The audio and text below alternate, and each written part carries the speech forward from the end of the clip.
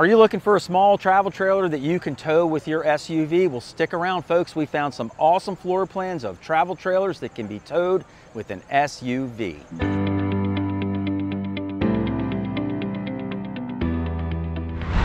Hey everybody, Mike from RV Blogger here in front of the camera and Susan's behind the camera. And if you've seen us before on YouTube, welcome back to the channel. And if this is your first time seeing us, welcome aboard. Susan and I make tons of videos all about RVing and we invite you to subscribe to our channel and don't forget to hit the notification bell when you do so you'll be notified every single week when we put out a brand new video. But without any further ado, let's get started on our review of travel trailers that can be towed with an SUV.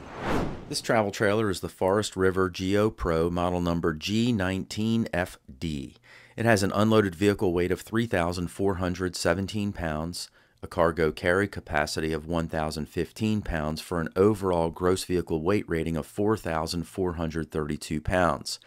The hitch weight is 432 pounds. It measures in at just 20 feet 2 inches long, and it can sleep up to three people.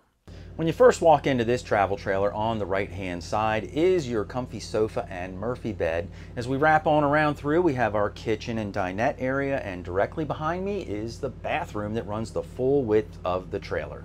Now our first impression of this camper is that you know for a smaller camper with no slides there's a lot of room. They really made the most of the space that's in here. Now let's start on the right hand side here with this nice comfy couch that you can recline on and kick back. The TV is located over top of the dinette, and you'll see that a little better in a few minutes, but it's in a great spot to be able to sit here and watch TV. Now, in addition to that, this middle section folds down and there's a couple of cup holders that go in here. It looks like one of them popped out and is missing, but there should be two of them here. It happens that way sometimes.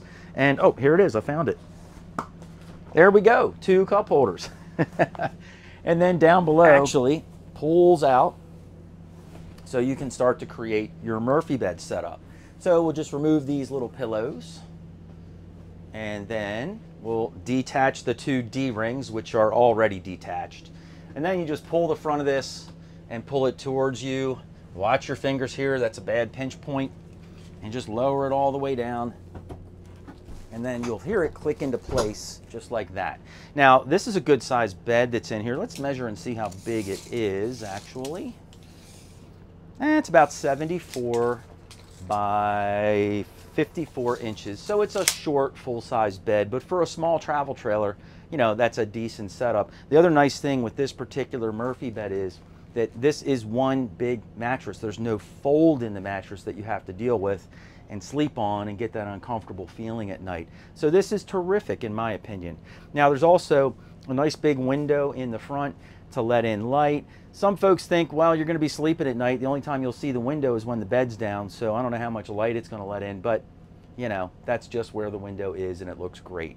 Now, on each side of the bed, there is a wardrobe cabinet so you can hang your garments in there. And then down below, there's a little nightstand on each side of the bed. Now, this nightstand has a receptacle in the front of it. The other nightstand has a receptacle on the side and USB ports on the front. Now, with this Murphy bed to put it back into position, this is the first time we're seeing this at the Hershey show this year. Uh, there's a little locking mechanism, so you can't just lift up the Murphy bed and put it back in place. You have to pull this little knob here, and then you can lift up your Murphy bed.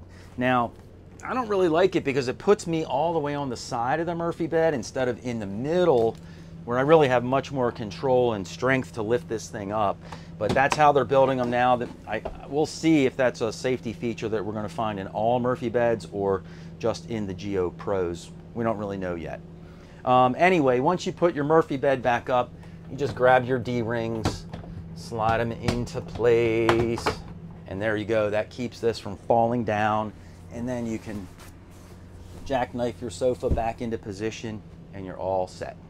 Now, as we leave the Murphy bed and living room area, we come into the kitchen part of this camper. And up top here, it's got these two really big doors that open up. Now, one thing I don't like about big, long doors like this that are short is they do wobble a little bit, but they've gone ahead and put some better hinges in here to make sure these doors stay secure. So that's a nice move, I think.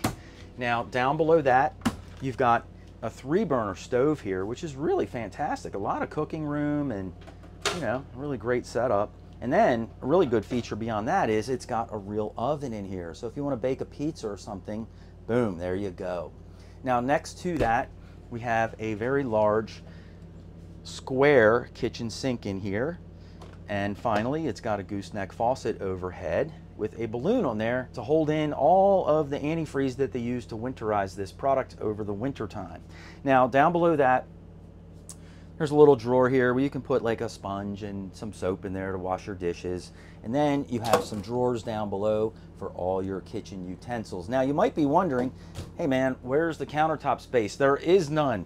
Well, they have this nice extend-a-top right here so you can set up a coffee maker, toaster, whatever, and there's a receptacle right next to it so you can plug it in. So here I am at the dinette table and two people can sit here very, very comfortably. There's plenty of room for that. There's a lot of overhead storage up top here behind these four cabinet doors. Nice light underneath of the cabinetry to light you up. And then of course you have a window which is on the campside, which I really love it when the dinettes are on the campside because then you can look outside and you know, see your fire ring and picnic table. You can see your campsite out there. So it's a much nicer view. Now this table will drop down and convert this dining booth into a bed. And if you were to do that, let's see how much room you have. You got about 70 inches by, you know, 32 inches. So almost six feet by 32 inches. So, you know, an average sized adult or certainly a little kid would be able to sleep in this spot. Now, one other feature we like to see right near the dinette is a power outlet or a receptacle because I know in our case we use our dinette to work, do our trip planning, all that fun stuff. Every now and then we have to plug in our computers. Well, there is a receptacle down below on the front of the bench seat so you can plug in right there. And then I also want to point out that this is where the TV location is. And as I mentioned earlier, it's really in a great spot to be able to see it from the couch. Not in a great spot if you're sitting here eating because only one person, well, can sort of see the TV behind your head. Now, a couple of other features to point out in this kitchen, you know, just beyond the cooktop and across from the dinette. This is where your microwave oven is located. And then down below that, you've got your refrigerator and separate freezer. This is a 12 volt fridge, so it runs off of your coach battery, not propane. So that is a terrific thing. Now here I am in the bathroom and I'm standing in the shower like I usually do. And as you guys know, I am 5'11", so headroom between me and the skylight is an inch. So you got about six feet of headspace in here. Now the rest of the trailer has an arched style roof, so it's taller in the center and shorter towards the side walls. But just to give you an idea of sort of your overall ceiling height in here, you've got about 78 inches or six feet, six inches of headroom. Now, the first thing I noticed about the shower is that this, the shower curtain is kind of on the low side in my opinion. I think if I was washing my hair, I think water would be splashing out of the shower. It's just a little on the low side.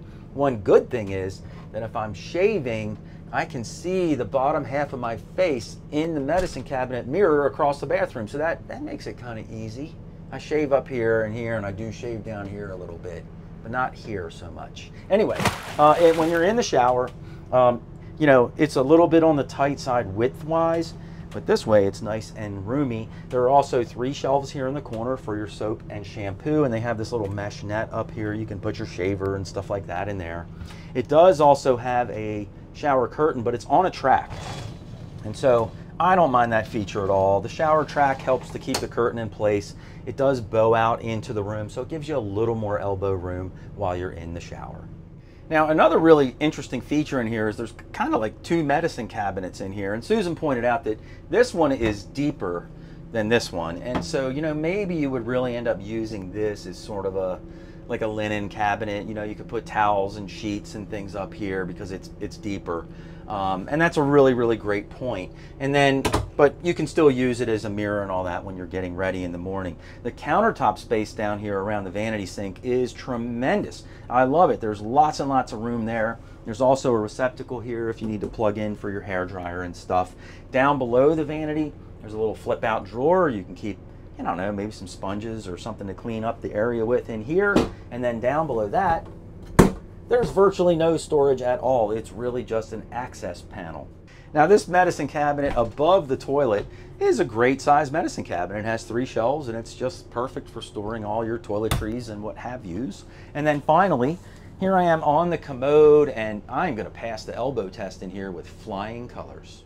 So for your outdoor storage, there are three small compartments like this one, two in the front and one in the back, and then there's pass-through storage as well. This travel trailer is the Jayco Jay Feather 166FBS. It has an unloaded vehicle weight of 3,895 pounds, a cargo carry capacity of 1,100 pounds for an overall gross vehicle weight rating of 4,995 pounds. The hitch weight is 415 pounds. It measures in at 19 feet 7 inches long and it can sleep up to three people. When you first walk into this travel trailer, you enter towards the back where the refrigerator and bathroom are located. As you wrap on around, you have your living and dining area, your kitchen area, and then your bed is towards the front of the camper. Now, our first impression when we walked in here was, you know what, this is a really kind of roomy camper, camper for a camper that's under 20 feet long. It's really, really done very well. Now, you'll notice on my left-hand side here is where you have a little uh, pantry closet. And there's another little cabinet down below where you can store things away. Just next to that, you've got your refrigerator and your separate freezer up top. This is a 12 volt fridge, which we're seeing in almost every travel trailer these days. Then as we wrap on around, we have our kitchen area. Now starting up top here, you've got this really nice big cabinet here.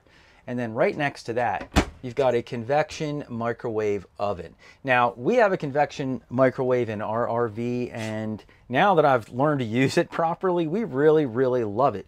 Uh, we can cook pizzas in there. We can cook all kinds of stuff in there, just like you would bake in a normal oven. So if you have a convection microwave in your RV, let us know in the comments below how you like it, any special recipes or anything you do in there that would, you know, help the rest of us to learn. Let us know in the comments down below.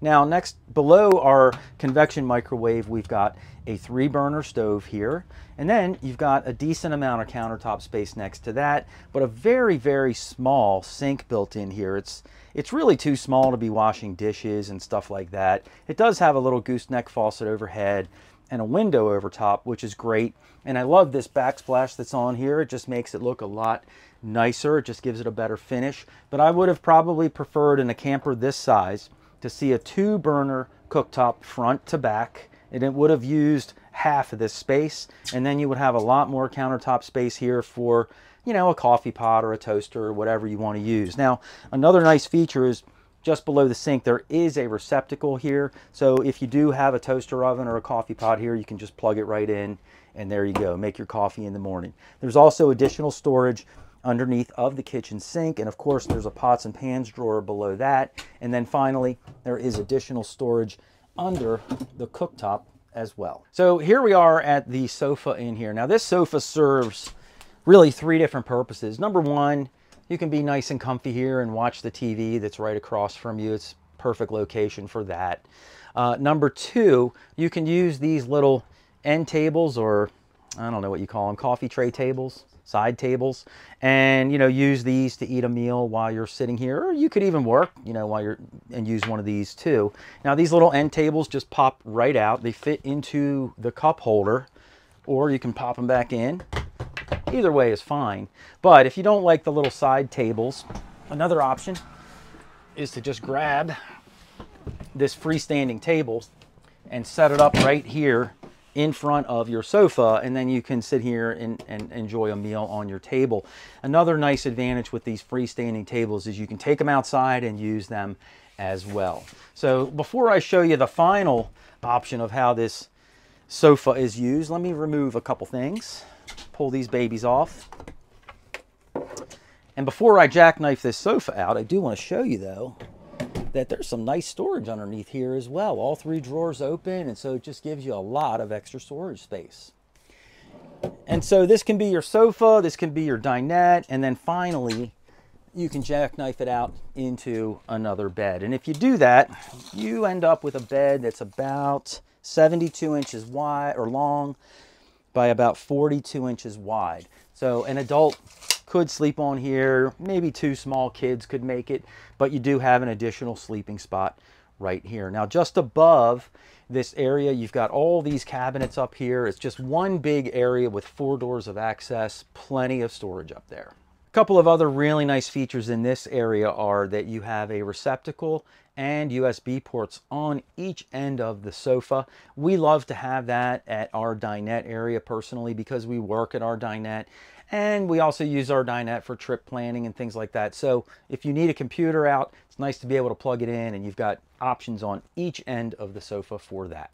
Now, across from where the sofa is located is where the TV entertainment center is.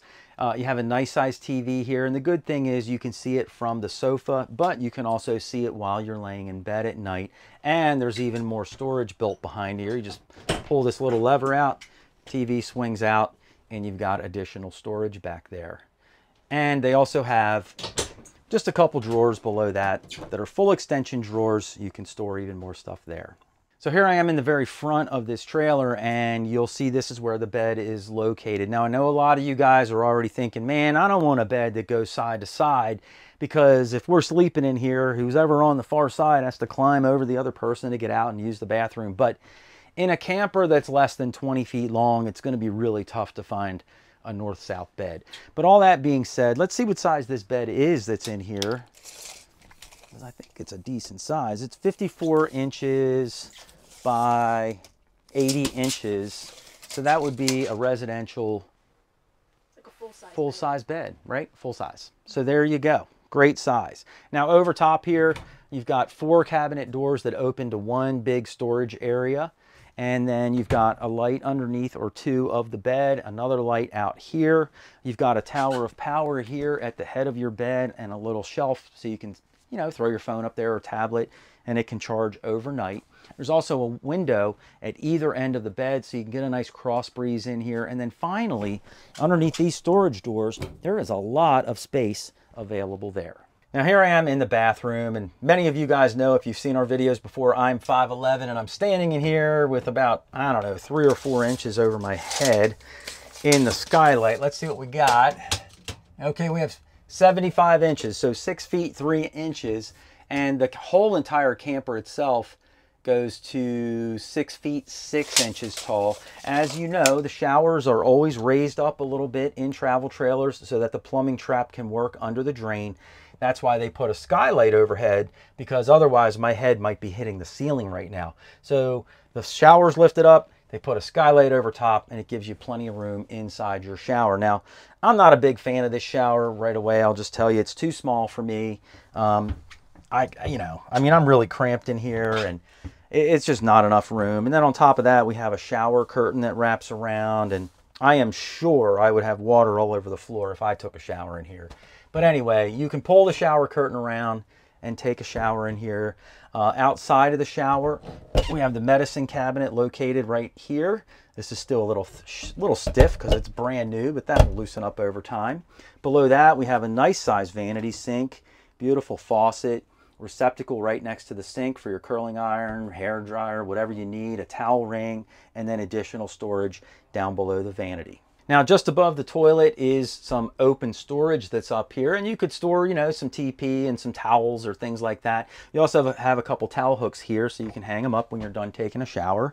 And finally, on the commode, doing the elbow test, no dice on that side, plenty of room on this side. Now outside this travel trailer, there are a couple of nice storage compartments. There's this one here that actually has a receptacle inside of it. And if you can get a little mini fridge in here, you could plug that right in and then you have sodas and beers and all that stuff ready to go. And then you have a front pass-through storage here so you can stow away all your gear. This travel trailer is the Winnebago Hike, model number H1316MB. It has an unloaded vehicle weight of 3,156 pounds, a cargo carry capacity of 1,044 pounds, for an overall gross vehicle weight rating of 4,200 pounds. The hitch weight is 566 pounds. It measures in at just 15 feet 11 inches long, and it can sleep up to two people. When you walk into this travel trailer on the right hand side is where the kitchen is located. Then we have the wet bath area that wraps around on into the sofa and bedroom area. Now, as I mentioned, just on the right-hand side is where the kitchen area is located. And this is a very compact and efficient style kitchen. First of all, all of your controls are located right here, very conveniently by the door.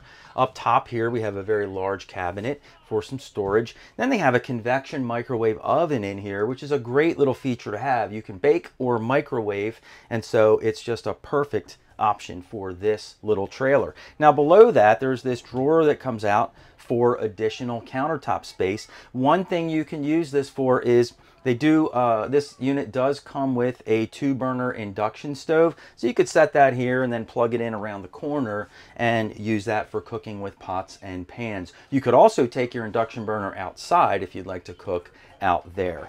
Now the kitchen, well, just below that, is where the refrigerator is and there's even a separate spot up top here for ice. The sink area has a shelf above with a little bit of storage space up here. Below that we have a nice size kitchen sink in here with a big old gooseneck faucet and it even has a sprayer that you can pull out. There's also a Connect charging station back here in the corner. And of course, I mentioned just a second ago, there's a receptacle here that you can plug into if you want to run you know, your cooktop or any other kitchen appliance for that matter, or a blender if you want to make a batch of margaritas up, which I highly recommend.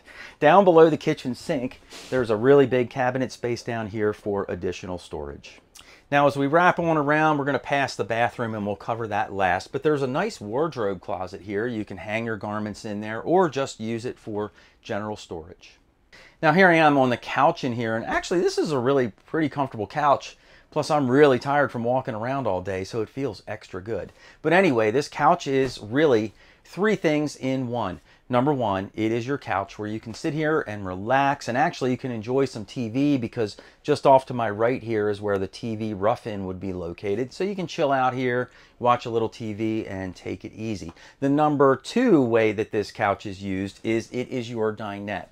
And there's a freestanding table that comes along with this unit, so you can just set up your table right here, enjoy a meal, maybe watch some TV and relax. And the third function of this couch is this becomes your bed because we have a Murphy bed set up.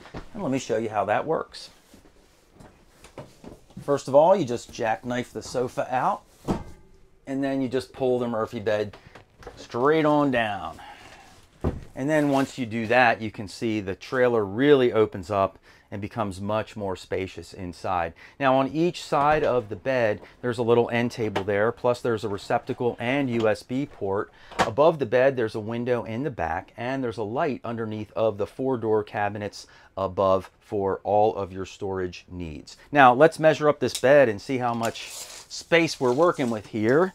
This mattress is 74 inches by 54 inches wide, so this will be considered a short, full-size bed but not bad for a small trailer like this. So the last thing to note about this couch area is there are a couple of cabinet doors below. Now these doors just sort of flop down and you sort of have to get on your hands and knees to reach under here to pull your stuff in and out. I think it would have been a lot nicer if they had put drawers under here instead of doors. And just to my right is another little door that you can use to store things away as well. So here I am in the bathroom in this unit, and this is a wet bath, uh, but it's a pretty good size, especially it has a lot of height room, headroom in here. Let's take a measurement and see. Usually uh, when I'm in a wet bath, I'm crouched down pretty tight. But in this one, we have, wow, six feet, five inches of space into the skylight. The entire ceiling in here is not that tall. But let's take a look and see what the height is through the entire uh, we're like six feet six inches throughout the entire rig so that's a pretty good amount of headspace in here. Now this wet bath is you know just big enough to get in here and take a shower. There's also a little corner sink here that you could use. It even has a little sink faucet for that. And finally when i'm sitting here on the commode there's no way i'll ever pass the elbow test in here but this is good enough of a bathroom to get the job done Two other things to note inside the shower are the shower rod above my head here. So if you have a wet bathing suit or anything you need to hang up in here, you certainly can do that. And finally, there's a little storage compartment right behind the commode where maybe you could store some shampoo or some soap or something like that. So in the very back of this unit, there's a very nice storage area here, which is actually located under the bed from inside. I love the fact that you can access it from two different sides of this travel trailer. Hey guys, let us know which one of these awesome travel trailers you like the most and why in the comments down below. We would sure like to hear from you. And if you want to check out some more awesome travel trailers that can be towed by an SUV, just click the box down below and Susan and I will see you in the next video.